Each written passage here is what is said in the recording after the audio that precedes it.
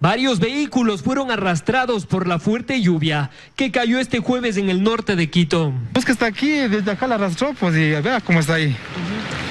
Los de acá igual llegaron más arriba de las llaves. En el sector de la Ofelia, los propietarios de los tuvieron que levantar sus enseres para que no se dañaran y barrer el agua que ingresó hasta el interior. Inundaron todas las máquinas, este es un taller, está todo se inundó. Allá son dos bodegas que también están inundadas. Doña Carmen argumenta que esta ha sido la pesadilla durante estos últimos días, que se han registrado fuertes lluvias en la zona. En el momento mismo yo estaba asustada de ver a mi hija que me llama a decir, mamá, ya nos estamos ahogando.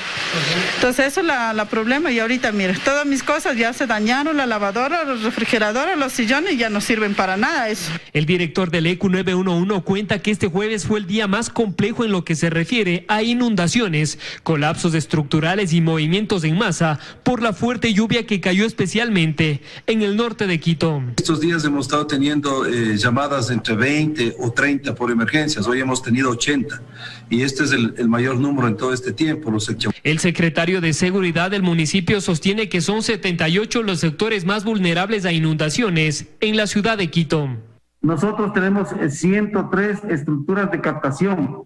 Estas estructuras de captación están ubicadas ya al pie de las quebradas también existen 72 zonas que corren peligro ante posibles deslizamientos de tierra. Una de ellas es la pendiente que se encuentra en la autopista General Rumiñahui a la altura del Trébol, en donde ya se realizan trabajos para evitar que los árboles caigan a la vía. Pues ya hemos verificado que en realidad se está, eh, está teniendo problemas el, el, talud en cuanto al, a los árboles, pero ya estamos dando solución. El Cuerpo de Bomberos y la Secretaría de Seguridad continúan con el plan de prevención de lluvias en Quito, identificando las zonas más vulnerables. Las calles que teman los jueces y los judiciales.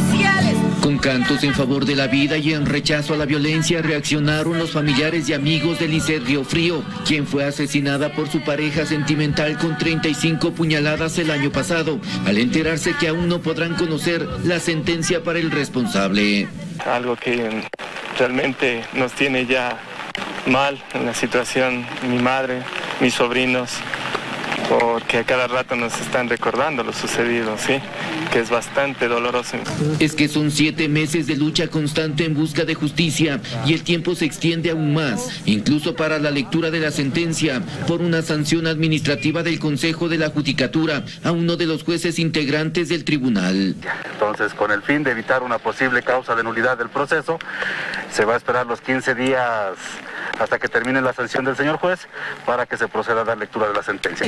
En base a los indicios presentados, esperan que se aplique la máxima pena para el procesado, quien tendría antecedentes de violencia intrafamiliar.